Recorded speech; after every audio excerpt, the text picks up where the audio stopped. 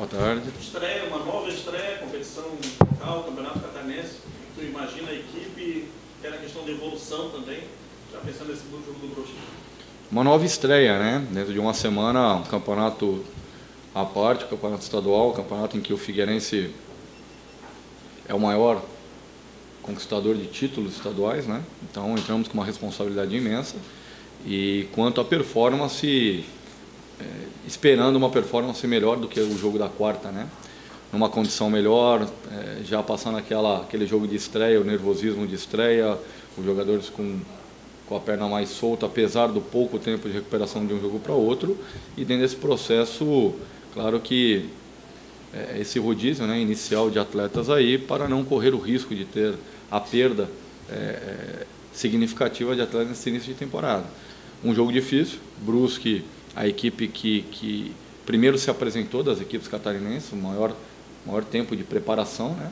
uma equipe experiente, um treinador experiente, né? um treinador que conhece bem o Figueirense e que aposto é, terá um jogo aqui truncado, né? onde vai jogar por uma, por uma bola para conquistar o seu objetivo. E nós, em contrapartida, temos que achar argumentos para jogar bem, é, fechar ou começar a fechar a ferida que ficou aberta do ano passado e buscar a motivação dos próprios torcedores nossos, né?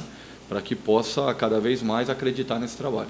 Você pode poupar alguém ou você pede alguém para esse jogo? Qual é a tua tendência de time aí, É, dentro do planejamento do jogo da estreia frente ao Londrina para este do Brusque, a tendência é de estar tá mudando três a quatro atletas.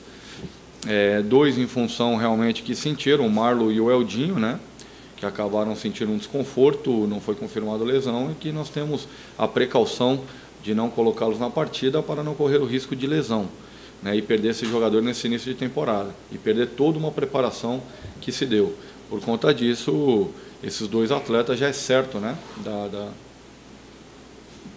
de estar fora e teremos aí mais um ou dois atletas nós vamos estar averiguando agora no, no treinamento, mas que também possamos estar mudando a equipe. Nós vamos averiguar, vamos ver agora, né? Mas tem, tem a questão, nós estamos vendo o Josa, né? Que, que sentiu também o cansaço de jogo, o próprio Juliano. É, vamos estar estudando agora, ver a melhor performance do próprio Elias ou o Everton. Foram dois jogadores na frente também que teve um desgaste muito alto. Então possa ser que nós tenhamos uma mudança tanto no ataque, um desses jogadores, e no meio também, dentro desses dois jogadores citados. Mas independente dessas mudanças, seja elas por necessidade ou até por opção, é uma ideia já um time um pouco mais para frente, um time mais ofensivo, até em cima daquela tua ideia de colocar agora o Matheus ou o João Pedro, né? Você falava para a gente na véspera do jogo Londrina que eles não poderiam iniciar devido à questão física. Exatamente. Agora, tendo uma semana a mais de trabalho, né? Encontra-se no estágio maior e melhor. O próprio Ferrugem também no treinamento de ontem, a resposta foi muito positiva. O fato de não levá-lo no jogo de estreia e deixá-lo treinando é, foi um ganho significativo. Ontem os dados estatísticos quanto à condição física mostraram isso pós-treino. Então nós vamos aguardar aí, porque é, para o jogo de amanhã possa aparecer o Matezinho ou o João tendo essa oportunidade, estando melhores condicionados. E o Ferrugem também, então, já fica à disposição? O Ferrugem também, assim como o Helder, né, é, já ficam à disposição. Então, são jogadores que já é, é, acabam qualificando ainda mais até mesmo as opções, né? Sendo que no jogo contra o Londrina, nós avaliarmos o nosso banco de reserva, tirando o Iago, que já é um jogador profissional, os demais eram todos jogadores com idade de Taça São Paulo. Né? Então nós temos aí esse cuidado nesse início de temporada, também preservar os meninos oriundos da base, mas dar oportunidade a eles. Aqui, a gente percebeu nos jogos treinos aqui no Scarpelli, também no jogo contra o Londrina, que as equipes vieram com propostas de segurar, esperar que o Figueirense criasse e a equipe acaba tendo um pouquinho de dificuldade por esse início de temporada, que ainda não está no ápice da, questão física. Como é que você imagina também esse jogo com o Brusque? Exato, é, é, normal, né? Porque quando você joga em casa, a tendência é se lançar à frente. E as equipes que vêm jogar fora de casa, como é o caso do próprio Figueirense nessas primeiras partidas fora de casa, é se defender mais, montar uma estratégia mais defensiva. E quanto a isso, aí pesa a questão do entrosamento. Né? Os jogadores ainda não, não se conhecerem ao ponto de saberem o time do, do, do, passe, a movimentação que deva ser feita com maior velocidade. Isso gera e cria né, essa dificuldade de jogo, é, em função justamente pela falta de entrosamento, ainda mais quando se requer um jogo mais ofensivo. Por isso a gente está procurando acelerar esse processo de equipe para o quanto antes já ter esse desenvolvimento de performance mais acentuada e, e tendo um melhor aproveitamento. Você espera de diferente do Figueirense para amanhã?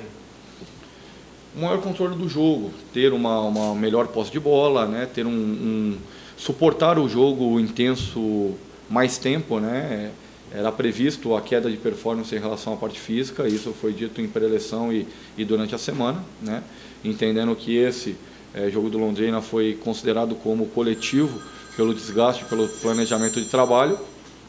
E, e, agora, esse segundo jogo, ainda em fase de preparação, não é fase competitiva, dentro de um planejamento, a gente entende que, que deva suportar um pouco mais a carga de jogo. Né? Nós suportamos até os 20 minutos do segundo tempo, 25, teve uma performance física em que a equipe ainda teve um padrão tático organizado. A partir dos 25 minutos, a equipe teve uma queda de performance física e automaticamente a parte tática também ficou bagunçado o time, né? Isso foi visível e isso é, é, um, é um processo, é um procedimento de treinamento e início de temporada. E para esse jogo a gente já espera agora não, uma organização maior e suportar uma intensidade de jogo maior também. Eu imagino aí que até os 35 minutos do segundo tempo a gente já aumente um pouco mais essa carga é, suportando a parte física. Tem alguém que larga na frente, Marquinhos, em relação aos cinco grandes, até em cima de questão técnica, de entrosamento, até se você aposta como surpresa nesse campeonato? O campeonato catarinense é um campeonato muito pe peculiar né, em relação aos demais estaduais. Eu tenho dito isso, participei de, de alguns estaduais já tanto aqui no sul, sudeste, quanto norte e nordeste. E, e, o Campeonato Catarinense, tirando o Campeonato Paulista, é o campeonato mais forte, na minha opinião, tecnicamente falando. Né? As equipes do interior são equipes que têm uma estrutura boa, são equipes que se preparam muito bem, têm um nível de preparação muito bom e é um atrativo de, de trazer bons nomes e bons jogadores. Já vista que várias equipes do interior têm nomes aí conhecidos, né? de, de renomes é, nacional.